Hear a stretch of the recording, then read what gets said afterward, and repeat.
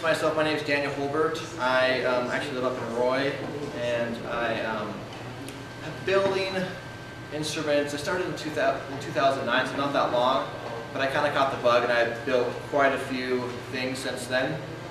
Um, I, I don't do this full time. Um, I, I'm a electrical engineer by training and by profession, but this is something that I just really have found that it's fun to really get down and be able to create something with just some wood and some other, other resources.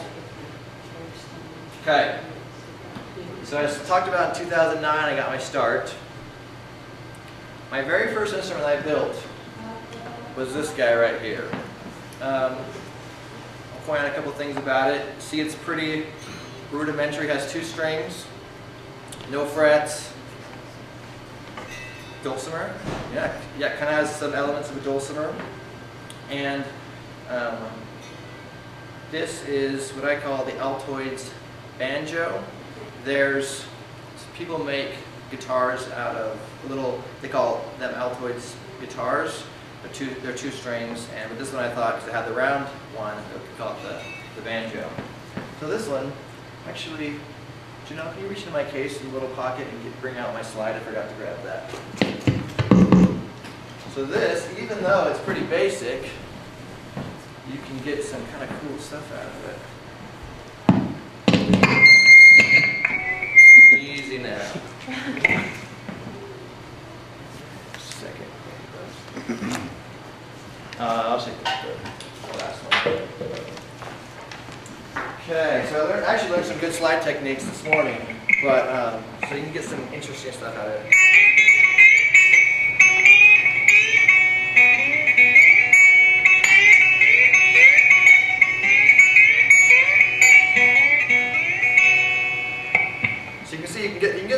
Out of it. It's you know it's only suitable for certain styles of music, but it's still kind of an interesting interesting little thing. So what what's some unique things about this? Two strings, obviously it's fretless, but most of us, you know, there's not too many fretless ukuleles out there. So most of us like to use frets because instead of having to approximate where the note should be, the frets give us a really great great guide.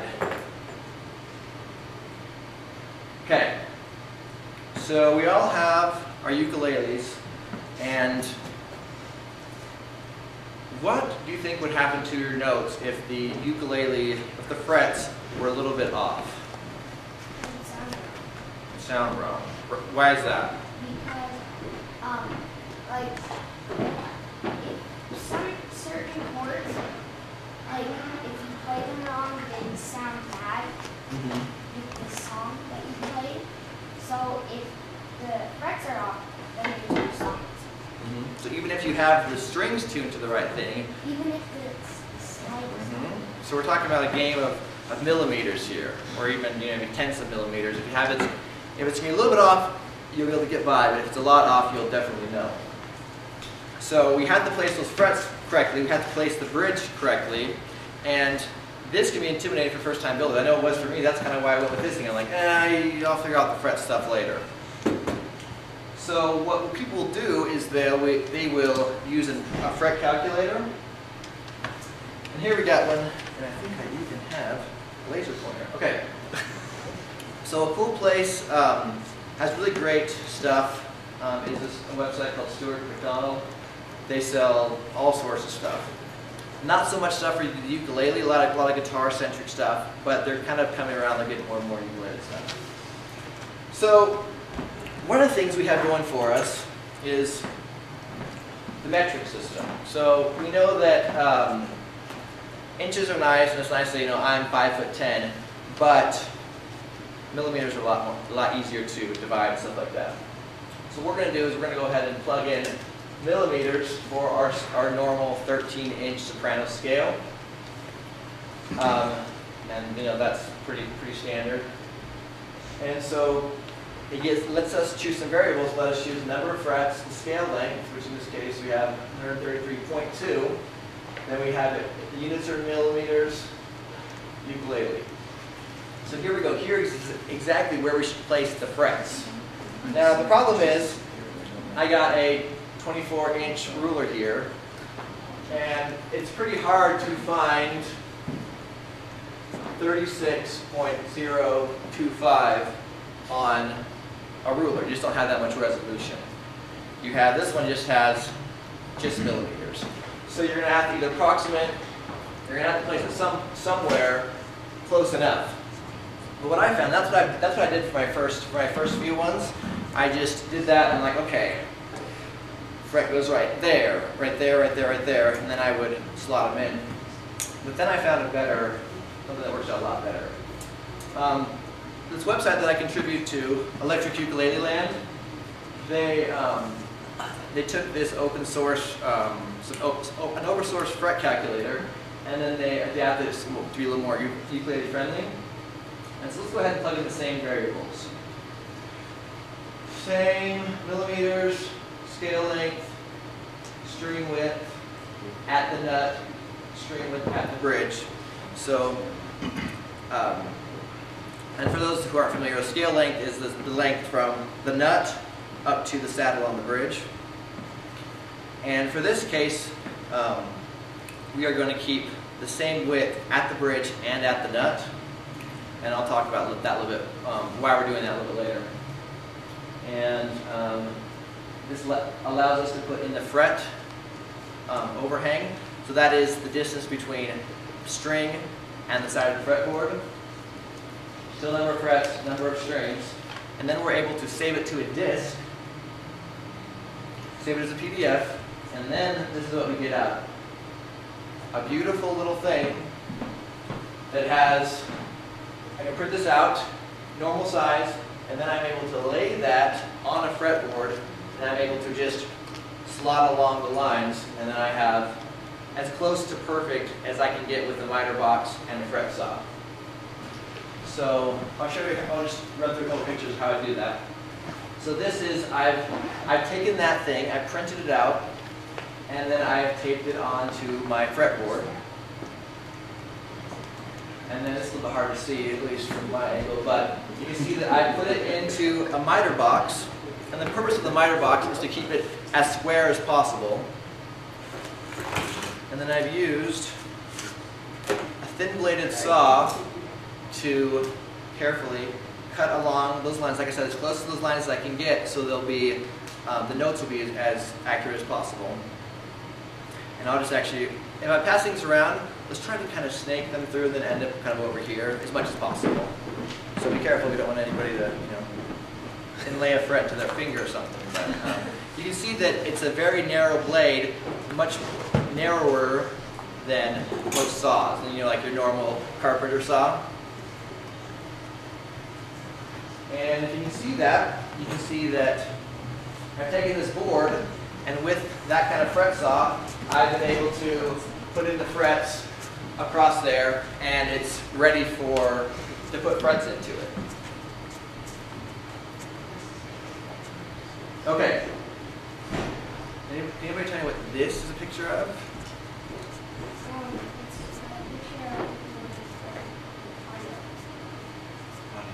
Okay.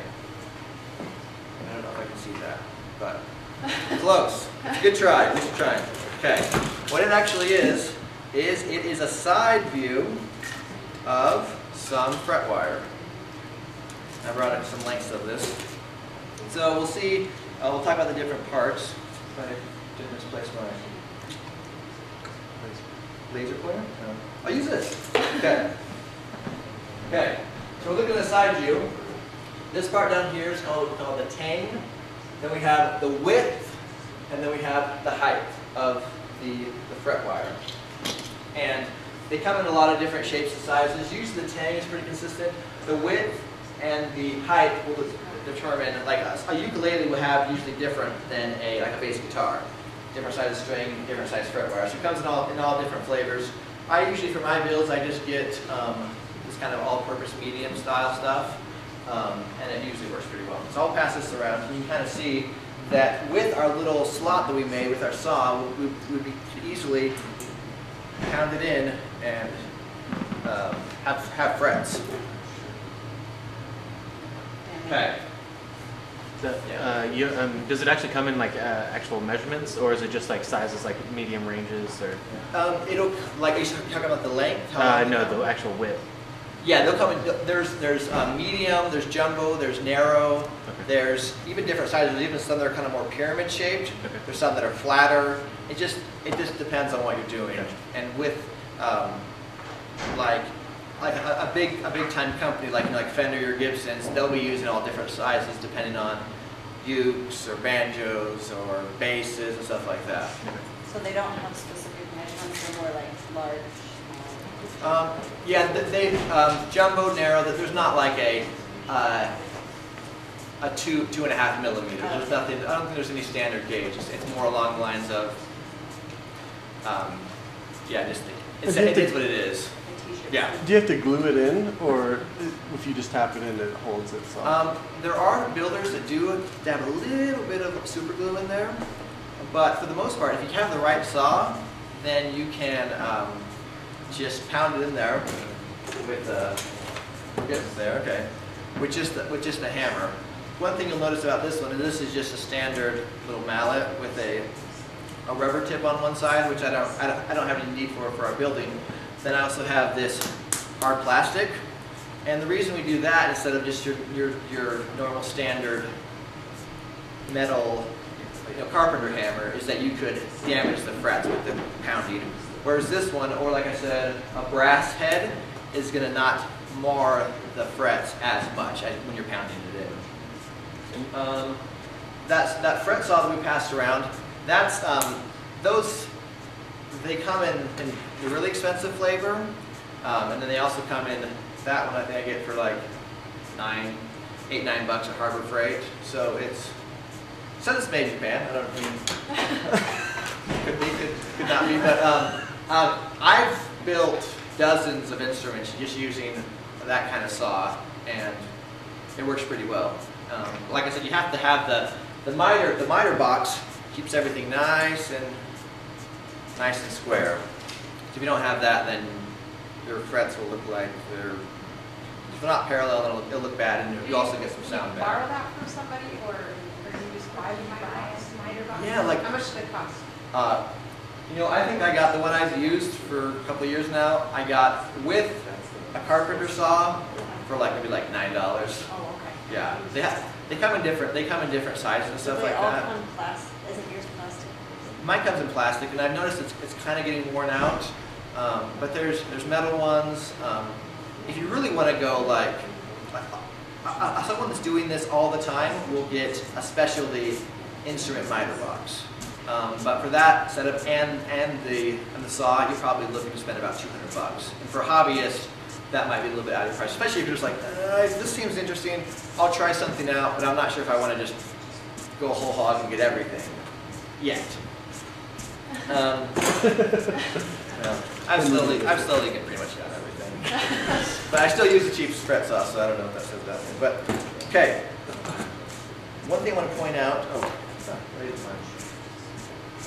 Minor Bosch, about this, fret cutter, talk about that. Talk about, we'll talk about fret cutter, we'll talk about grasping the files. So I, I, I got a little bit, I think this is either Bubinga or like uh, Rosewood, so some scrap that I had. And I cut the slots just really quick and I inlaid a couple frets into it just to test it out. The top one I cut with just these standard, probably should know what this is called, just like wire cutters, you know, like an electrician would use. Just snap off things, wire net it together, you're good to go. But this bottom one I did with these specialty um, fret cutters, I guess what I call them. And you can see that we're a lot closer to where, to the fretboard, to this eventual fretboard. And what that helps us out is you'll notice um, in your own ukulele that along the fretboard that the frets will be nice and rounded over. And that's what we want because we want to, when we're playing, we don't want our, our finger to get cut up along this, these jagged frets. So what this, this specialty one does is it allows us to cut very close to the fretboard and then we're able just to take a rasp or a fine file and just slowly round it off the edge until it's comfortable where we can slide up and down the neck without getting a bloody hand. Your frets are sticking out? So sometimes that, what, so what will probably happen is when it left the factory, it probably, the frets were probably good and then probably the humidity of like or lack of humidity, I should say, in Utah shrunk the fretboard enough that now your frets are kind of sticking out. So I'm going to go ahead and pass these two around so you can see that this is really nice because you get really close to the fretboard.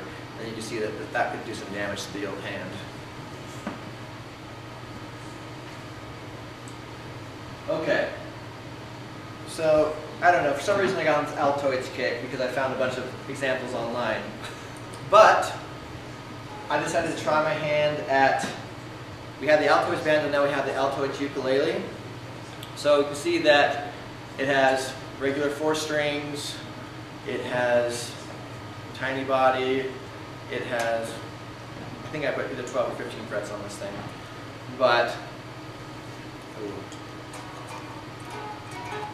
It's not very loud, and I'm not gonna, I'm not gonna necessarily do a demo of this thing right now, but you can kind of mess around with it when I, when I send it around.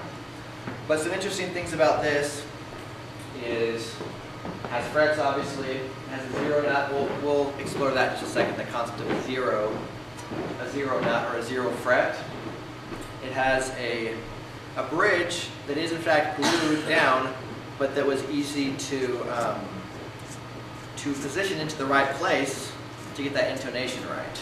Because you know, if you played the ukulele long, you'll know that um, the 12th fret should be one octave higher than the, the open, the open string. So, um, another thing we'll explore is this non-tapered neck really fast. So a normal ukulele is going to have a neck that starts out at a certain width, and it's going to slowly get bigger. And that makes it a little bit easier to play up and down. That's just kind of how, how guitars, ukuleles, and stuff are made. The advantage of a non-tapered neck for someone that's just getting into building is the fact that I can just go down to the store and buy this wood, you know, Lowe's or Home Depot or some kind of home improvement store, and I can buy this wood, it's an inch and a half thick, and I don't have to do any extra sawing. Because if you're just getting into it, you might not have the band saws and the scroll saws and all that stuff. You can just go non-tapered neck, and you can get stuff going without a lot of extra, extra tools. So I'll go ahead and pass this around. Like I said, I, I brought so many instruments that if I would have tuned them all, I would have stayed up even later than I did last night. So I'm glad I decided to sleep at least a couple hours. Okay. So here we have this, actually, I think I, I think I might have mislabeled the slides a little bit. Instead of a zero, a zero nut, it's usually called a zero fret nut, if we're getting into semantics. But who knows, who knows what a capo does? Shortens, or it shortens the length of the bridge to the mm-hmm. yeah. So like, you, you don't see a lot of capos for ukulele playing just because it's short enough and short enough. A lot of times you're playing the guitar, they'll say put a capo on the third fret. So what you're doing is you're making it that much shorter. And what this is kind of doing is kind of cool is we don't have to worry about having a nut that we have to adjust and have to hone and have to sand down to get right. We can just have the strings go right over this fret, and that will serve as the nut. Another advantage of that is we don't have to, um, we can keep the strings where we want them to be, and we don't have to have the nut keeping those, the string width in place. Um, what you'll see on the Altoids ukulele as I'm passing around is I wanted to have a traditional um, style headstock where it's up top of the neck, so I put in four little eye screws up on the headstock, and that allowed it to dip down enough so it's not going to be buzzing along that fret, but it's going to be a nice, stable, it's going to be seated stably onto that fret. And that just saves a lot of um, a lot of time and a lot of headache for, for beginning builders because that's sometimes one of the hardest things to, to tweak is that nut. Getting the slots the right place and getting it low enough so our action, that is the distance between the fretboard and the strings, is not incredibly high.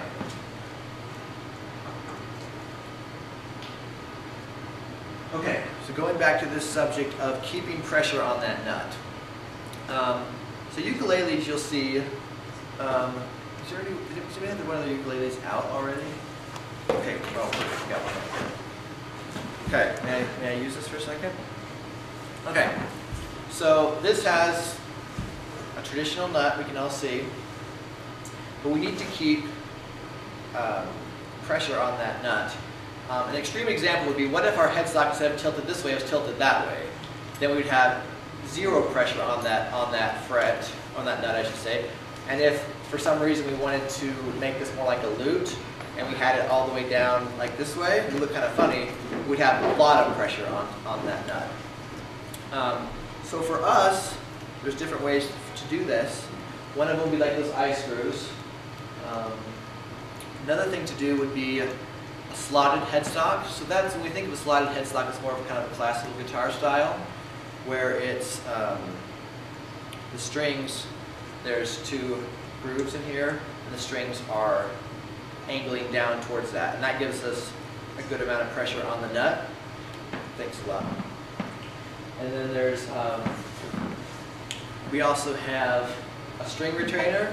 And a string retainer is if, um, picture this is up by the headstock, and we would put this in, and screw it down, and then that would apply, the strings would go under it, that would apply downward pressure to keep the, the strings on that, on that nut. So that's important, because uh, if you don't have that, then it's going to really sound buzzy, it's going to sound not, not that good. And these are the ice? Yeah, they're the, they're the ones with the circles and then the screws on them, and then that keeps them. Is, is there like a like a maximum distance that uh, before you'll actually start catching that ringing, or Um, you'll kind of probably not far, but Yeah, you- don't have, you don't have to get, get it that much. And then you can think about it, if you have them close to that area, then you'd have, you could, um, the farther away it's gonna be, you'd have to have it lower and lower because just have, that pressure needs to be closer and it just, so it dips down just enough. gotcha. Um, okay, so this is, I was on a trip to California a little bit ago and I went to cigar box. I don't smoke, but I wanted to find some little cigar boxes. And the cool thing about, there's this whole movement around cigar box instruments. And the reason that's really nice is because this one's actually more of a cardboard. But a lot of times you have these cigar boxes that are made out of nice wood.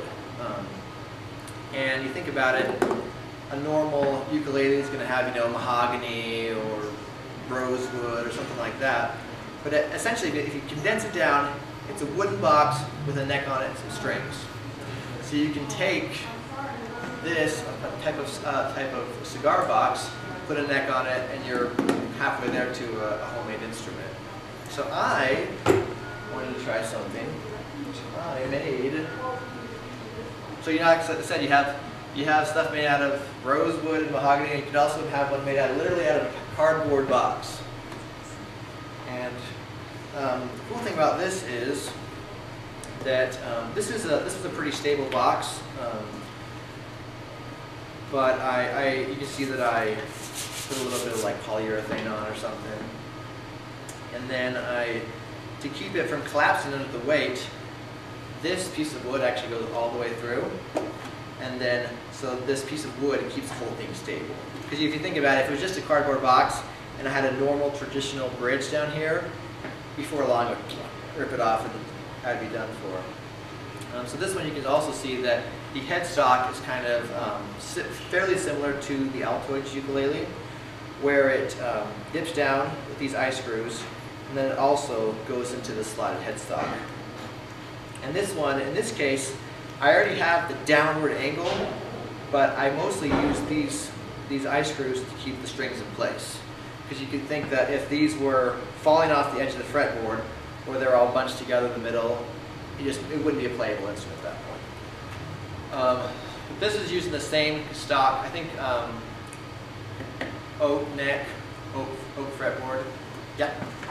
If you just had like a long, thin piece of wood about that big, was that like if you made it, could you just make that thing into a ukulele without having to put anything else on it except for all the stuff that you needed? Like as in like no box.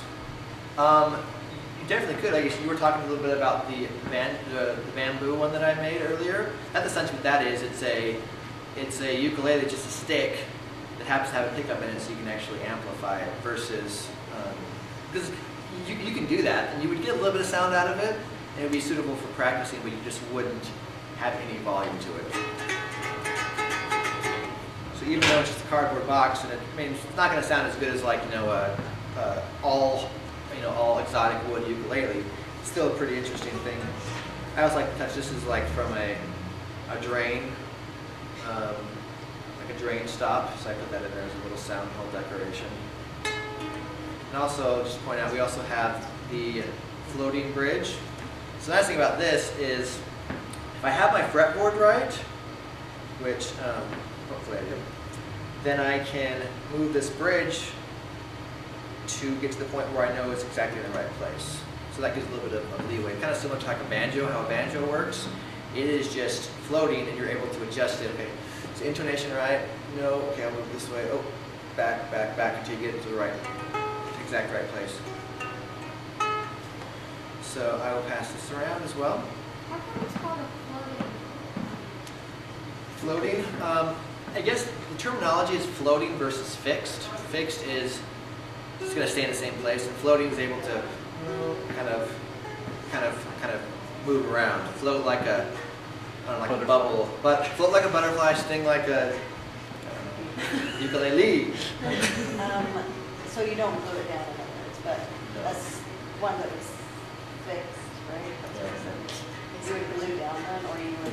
Yeah, we're just like going back to just like all of all of the all the ukuleles and the ones in the back, the ones we have in our hands, they are all glued in. So if for for some reason the factory made a mistake, or the shop made a mistake when they placed it, the whole thing it would sound okay when you were playing all the strings open, not fretted, but when you finally um, started fretting stuff, everything everything would be off because that scale length would be all messed up. You used a metal pin for the Altoids one, and that one was glued in, right? Mm-hmm. Yeah, that, that one ended up gluing in because I wanted to, once I found out where it was, I'm like, super glue it in. And actually, I think for that one, I'm not mistaken, I just took a, just a regular construction nail, cut off the head, cut off the, the tip, and then it was pretty, um, pretty straightforward to do. One thing kind of, oh, I forgot to mention, this, the plans for this Altoids ukulele, um, and another one I'm going to talk about, are actually available on, via my blog. It's circuitsandstrings.wordpress.com. And actually, I think my wife was nice enough to make a bunch of little ukulele cutouts with the, the address on that, so you can just look at that. But yeah, with that, you can, uh, with not with not too many not too many resources and not too many tools, you can make something like this. Like I said, it's not. You wouldn't probably play Carnegie Hall with it, but it would be fun just to try your hand at building.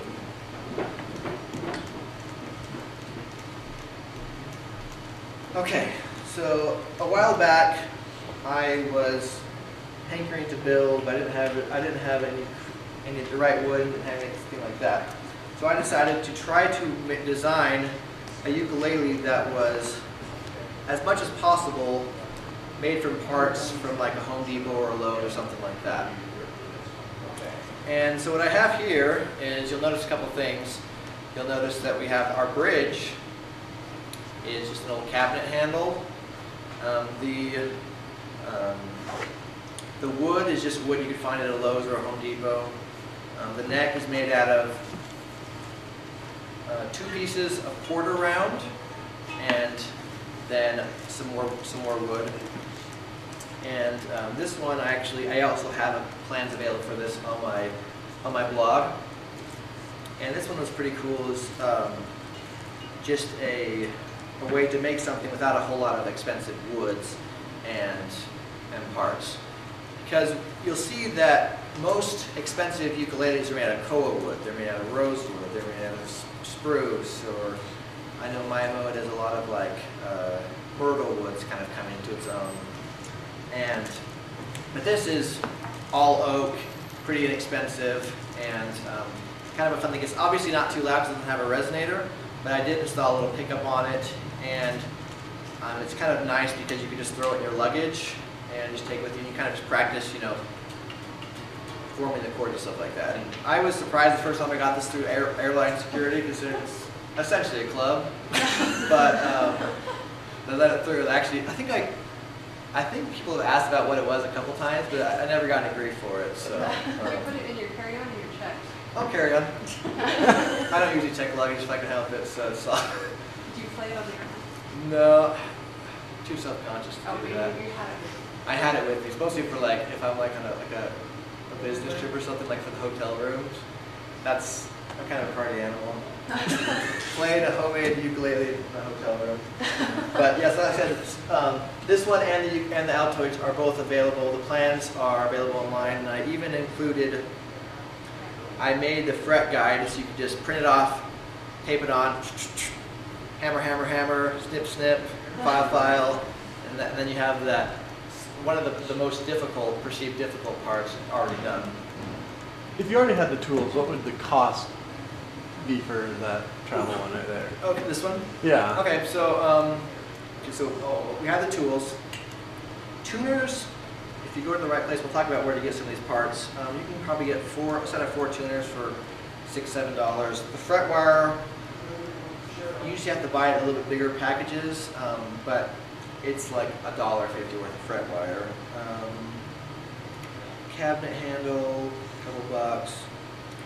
Um, I think I estimated because of different stores and stuff like that, on my website I do essentially different tiers. I have the, the inexpensive, medium, and then the, the pricier ones. I think I have this at the, the probably the, the thirty dollar range. So it's maybe a little more than that, maybe a little cheaper than that. If you can scrounge some of these parts, then you can probably make it a little cheaper. But that's just for the parts, probably like the 25, 30, maybe up to 40, depends on where you get, get stuff. And how much was the pickup? Oh, um, oh yeah, the pickup, we'll talk about a little bit more about pickups and the pickups that I put in, and put in my different instruments. But, um, you can get the pickups for, um, depending on what style, either the round or the, the rod type, for the neighborhood of, um, a dollar to like maybe three dollars. Yeah. Then you get the, the jacks, you can either get online or you get like it at, um, Radio Shack has parts. And so that probably added the pickup, probably added five, six dollars to it. Um, say like with a normal ukulele, if it didn't have pickup, could you install it?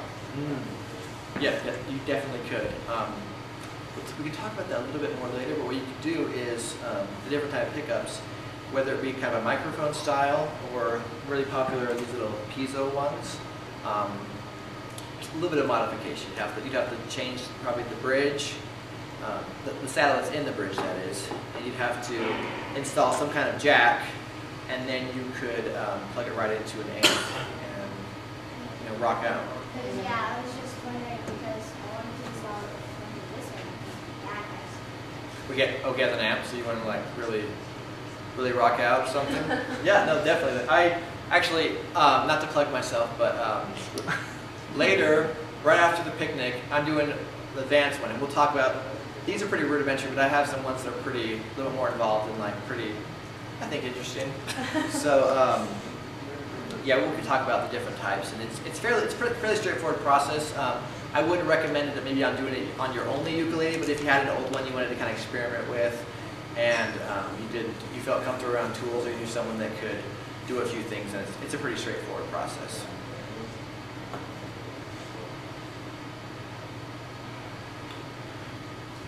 Parts, parts, parts. Okay. So there's different places where I've I bought parts in the past. Um, let's see if we've lost my oh blending in. Yeah. Okay, so this is this is what I wish I would have discovered sooner. This is cbgitty.com, um, and what this stands for is cigar box guitar. Gitty, I guess, is backwoods for guitar. but um, this is this is the place that I found has really good prices on on I don't want to say inexpensive, but like on stuff that we would put on the Altoids banjo. They have tuners that cost you know hundreds of dollars for a set, but for something like this, it would be kind of ludicrous to put really expensive tuners on it. So we can get ones that we could buy for seven dollars a set, and then we could make three Altoids banjos on it. Um, they also have these little electric elements we can put. They have the jacks. They have these more um, these little more expensive style tuners, these seal tuners as they're called. I believe these go for um, like thirteen dollars a set. So it's not you know necessarily super cheap, but it is affordable way to get you know nice tuners that are going to be a little bit more stable than sometimes open gear ones are. Um, they also have, like I said, tons of jet, uh, tons of these these mono jacks. We're gonna plug in our, our amps. Um, I buy fret wire by the pound.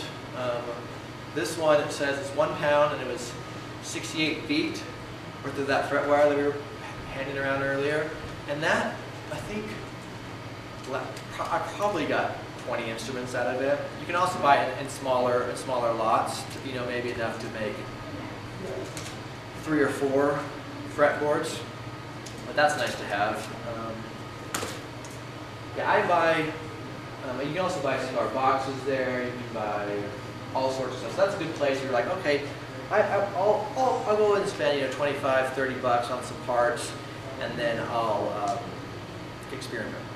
How much would like the Altoids banjo and the Altoids ukulele cost for everything? To, to build it all, um, you like you would install a pickup into it as well. No, like just the. Okay. Uh, well, the nice thing about if you buy this tin, there happens to be a bunch of little delicious treats in there. You know, that's two bucks. Strings, um, couple. Well, it depends. If you buy, I mean, an expensive way to buy it would be like buy a guitar, um, buy um, a guitar set for seven dollars, and then just use a couple of the strings. I actually nowadays I actually buy these in bulk, so I'll buy like twelve strings, like twelve E strings, twelve B strings, twelve G strings, and all the way up. Um, and then um, I'm guessing you could probably. I'm not going to include like shipping to get it to your house necessarily, but you could probably do it all for around 15 bucks, maybe. something like that. about the, the ukulele? Um, you know, not much more than that. I, I- didn't install a pickup in that one. You'd probably be in the, in the, down in Destin somewhere in the twenty dollar range. But some of your first ones, you also took apart old ukuleles we found at like garage sales. That's true. That's another place to get parts. You like sometimes you go to a thrift shop and there's like these old toy guitars. They're just made out of plywood, super cheap, no good. But yet you could sca- you could take a bridge off it. You can take tail pieces off it. You can salvage the neck. Like I, I sometimes throw away the bodies and keep the necks because they're pretty useful in tuners, the You nuts. just take, take apart everything and keep all the pieces and That's what I do. I don't I don't ever throw anything away instrument related pretty much anything in my life. Just to, I'm one step away from being a hoarder. If I I have I have probably 40 ukuleles, and if you know that's a cool collection, I guess. But if my if my collection was you know old newspapers, then that's not a cool collection. I'd be a hoarder. a very a very fine line between hoarding and like being a uh, collector. but um, going to, so going back up to here. I think I might have. Okay. Stewart-MacDonald. This is like um, this is where like the pro shop. Um, this is where like the people that do it for a living they shop there. Um, they do have some pretty cool stuff, and some stuff is some stuff is not, is pretty affordable as well. Um, like for example, if you wanted to upgrade your ukulele, for some reason you like the tuners, this is where you go. You could buy a fifty dollars set um, of tuners for your ukulele and upgrade and upgrade them to make it a little more, um, you know, fine tuned or whatever. And they also have I bought bridges there. I bought um, fret markers there. Um, like this one, I think I added some, had some little fret markers that I had around and just inlaid them. And They have stickers too, if you want to go really easy. ooh, You can buy just little, because I, I got a guitar kind of thing and it didn't have those and I like them, and so I Yeah. just bought them, they're real cheap ones. Okay, so you're like third fret, fifth fret. Yeah. Yeah. See, that's that's another way to to do it. really easy. Or think about it. I mean, you could even like um, just go to like a craft store, get little dots. Even those little circle things you use to protect like um, notebook paper. You could do that, and then you could protect it by putting like a little like polyurethane coat over it. Just make like you know, just make your own little cool thing. I've seen pennies inlaid to fretboards. I've seen some people just um, countersink a couple screws into it, so you have kind of a cool industrial look. It's really anything, you know, like I, I, I, I spend um, more than I'd like to admit amount of time in like craft stores, looking at like beads and stuff. I'm like, I could inlay that into a fretboard and have like gold inlaid or something like that. You could do kind of a lot of, cool stuff. Um, Stewart-MacDonald also has some, I'll talk about this a little bit more in my next class, but a kit where it's solid wood, where the sides are already bent, it's already kind of, the neck's already shaped, and then you can just carefully assemble it. You can have a solid wood ukulele um, for a, a pretty good price. Um, another place I've really gotten, gotten to like lately is eBay. Um, they have a lot of parts, and what I they have parts from all over the world. I bought stuff from China. I bought stuff from America. I bought stuff from. I think I'm buying something from like Bulgaria. I bought stuff from. I bought, I brought I bought some bridges from Turkey. So you can get all this stuff from all over the world. And the cool thing is, like, especially I'm not sure how they do it, but China you can get stuff um, like tuners, and the- the shipping is free somehow. Even You though buy a dollar thing and the shipping's free. I know, like I bought, yeah, I bought things for a dollar. It's like, and it takes, you know, it's gonna take three or four weeks to get to your house, but then it shows up like, wow. And the nice thing is, you ordered it so long ago, you dropped, you bought it, and it's like, ooh, bonus. Christmas. Yeah. So, um, and then another one that I, I don't use it as much lately, but um, this this um, the guy that owns this Grizzly um, tool website. There's also showrooms in the United States as well, but I guess he's really into building guitars. So he's like, I sell all these industrial tools, and by the way, I also have this little section where I sell like guitar kits and ukulele kits and, and tuners and stuff like that. And there, um, have a cool little kit. So this is a um, pretty cool little kit. It, you see that the neck's already shaped, and that's a big deal because that can be that takes a little bit of, of, of um, expertise to do that. The body is already already made, has all the, the tuners, the nut, the bridge, and all that stuff, and you, then you essentially just assemble it. I mean, it's going to be it's not going to be the best sounding ukulele ever it's ever had. The body's going to be plywood. Um, this is going to be, um, I think this is some kind of mahogany, so it's it's okay. Um, body like that, body's plywood. The cool thing about this is you can get them for like on sale. You can get them for like 25 bucks the kit. Um, sometimes I think the normal price is 27, 30 dollars, something like that. You can get that shipped to your door, um, and then you can kind of assemble it. And they have pretty good, pretty good instructions. Um, so that's kind of helpful. And you just glue it together, or how? you- Yeah, you glue the neck on, you glue the fret, the fretboard's kind of this, the fretboard's probably one of the, the fretboard and the string is probably like the worst part of it. The Fretboard's kind of like this plywood thingy, looks okay, but it's just, it's not gonna be as nice as like a rosewood one, or even one made just like oak, custom made one. But yeah, the strings, I just put my own strings on, the ones that I made.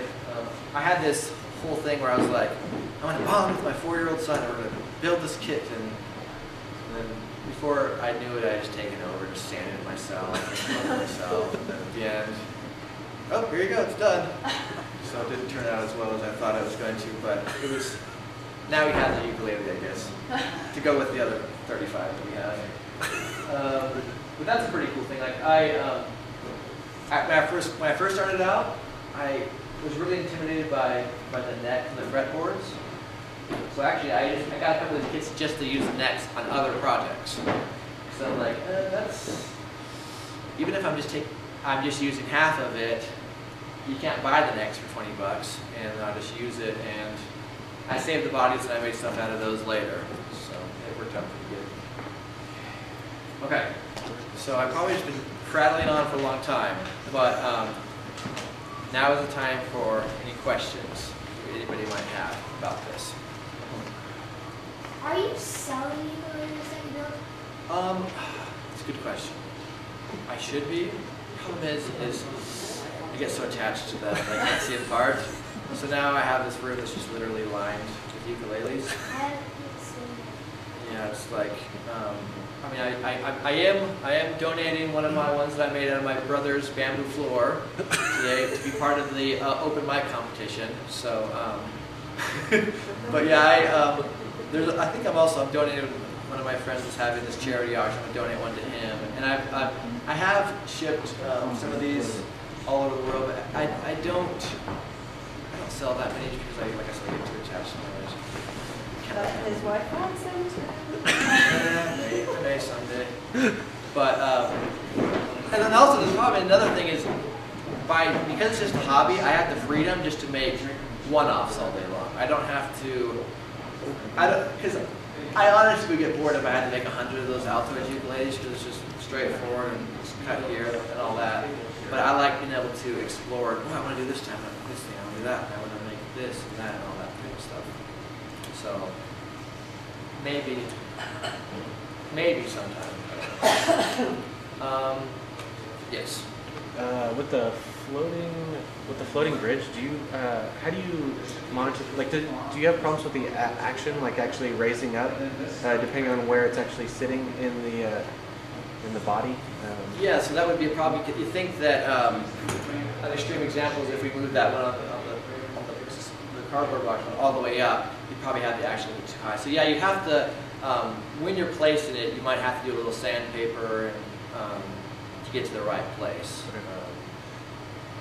Because if not, then you're like, oh, well, this is too high or too low, and both are. You know, we all know there's that kind of that sweet spot where it's it plays nice, but it's not going to buzz, and it's just going to be just a nice, nice playable instrument. So are you saying you sand it down so it's a little lower if it's too high? Yeah, um, like like for the Altoids ukulele, I found um, I was trying different things. I think I tried like a, a like, like a screw or something. That was a little too big. And finally, like, ooh, that nail works pretty well to get it to the action. And like you know, um, someone someone that's doing this and selling the ukuleles, they'll they'll kind of have their own different styles to get that nut and that saddle right to the right place where it's, it's the, the right height for the action. Um, any other questions? Okay. Um, with that, uh, like I said, after lunch, I believe it's at, what time is it? At uh, 2.15, I'll be doing one where I'm gonna, if you like these ones, I got some, I got some really cool ones later. That look a little bit, a little sleeker than these ones. And um, go to my, if you want to know, know information, more information on what I'm doing, go to my, my blog, my YouTube channel. Um, my, my username is Circuits and Strings. Um, It's cool. and I have quite a few, Hundreds of videos. quite a cool, quite a few cool stuff. With that, um, no more questions. Have a great day, have a fun picnic, and have a great, have a great festival.